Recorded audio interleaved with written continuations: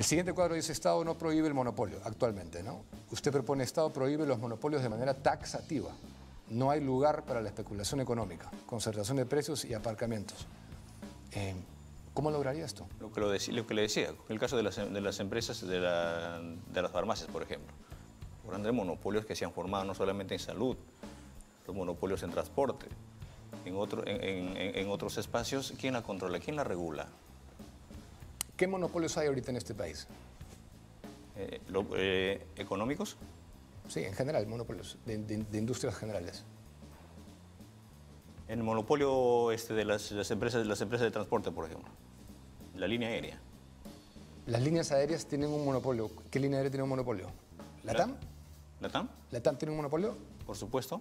Ya, ¿quién más? Eh, en materia de, de lo, salud. Lo, los mercados, que hoy, por ejemplo, Saga Falabella, Metro, que hoy en día más, aparte de ello, el, el, el, gobierno ha recibido en el marco, en el marco de la reactivación económica. Pero Saga Falabella, ¿por qué tiene un monopolio? ¿Usted quién lo fuerza a, a comprar en Saga Falabella? Es un monopolio porque este, aglutina eh, su economía para sacar un beneficio persona, un, un beneficio empresarial sin importarle, sin importarle al Estado, sin importarle al pueblo. No, está bien, pero eso no es un monopolio. Eso es un, una, una, una, no tiene rostro social su actividad económica. Pero no es un monopolio, porque un monopolio lo, lo fuerza a que sea el vehículo único a través de lo que yo puedo acceder a algo.